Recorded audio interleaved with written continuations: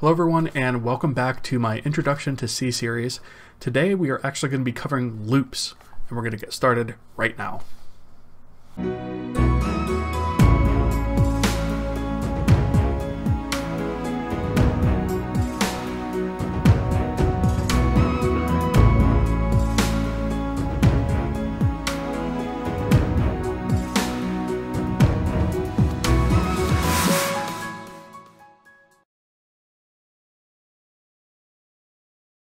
So last time we left off with functions as a way to sort of control the logic flow of our application. Between that and our branching, we have a little bit more capability in our application at this point. But we want to expand on that further. There was something else that I alluded to before that I want to retouch on. So first off, I'm going to remove this erroneous code here. And I alluded to functions being reusable, right? Where we could call them multiple times and have the function execute the same code over and over again. So, right? So if we make this and run, we see here that we get text three times. But this is kind of sloppy, right?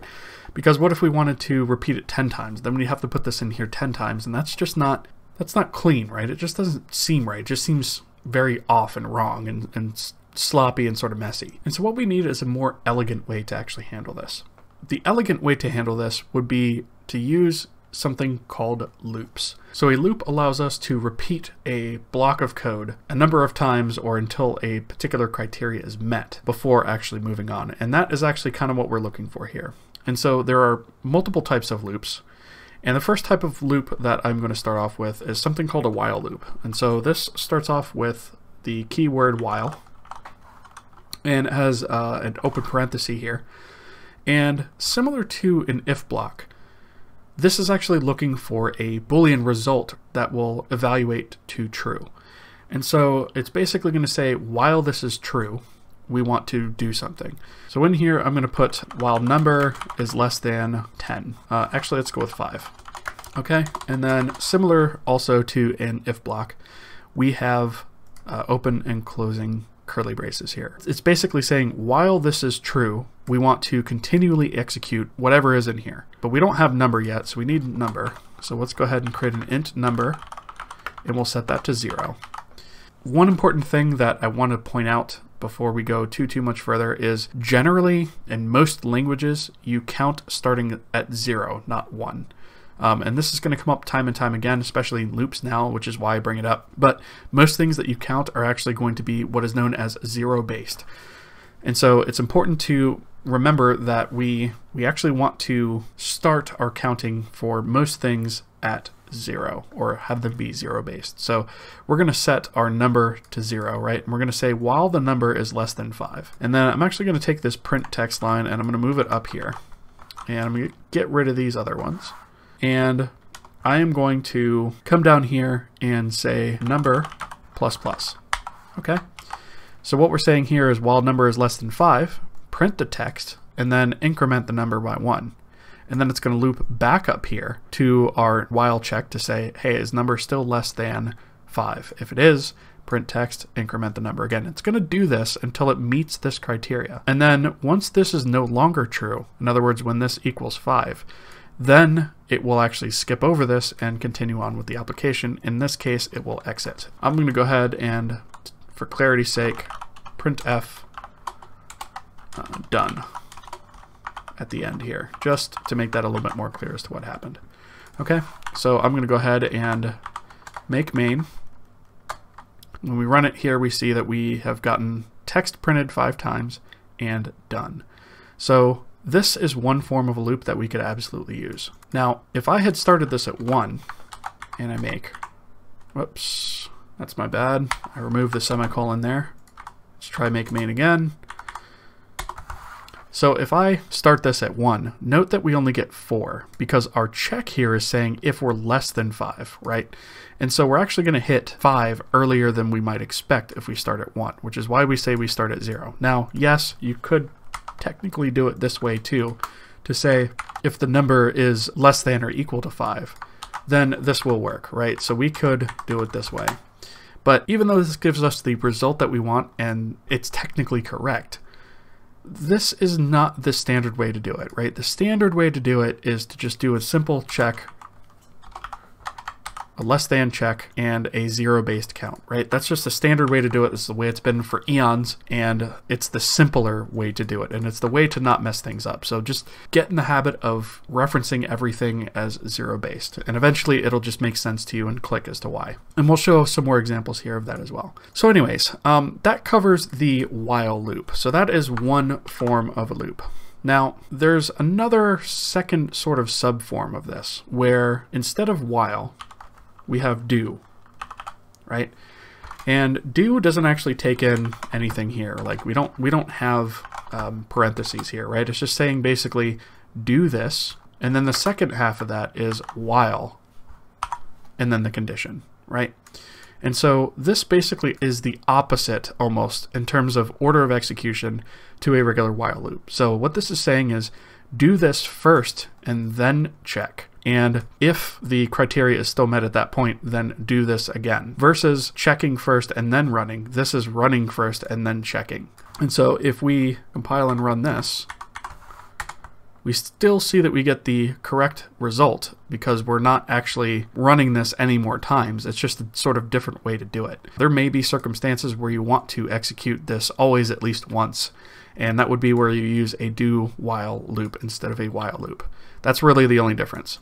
Now there is another type of loop that I want to cover, which is quite a bit different. So I'm actually going to remove all of this logic and start from scratch. The third type of loop is called a for loop. So it starts with the for keyword and it has parentheses. Similar to our other loops, it has a block of text that says while some criteria is met, we want to perform a loop. But for loops have some really weird syntax and some strange things going on that the other loops do not. The first thing in a for loop is I'm actually going to get rid of this as well.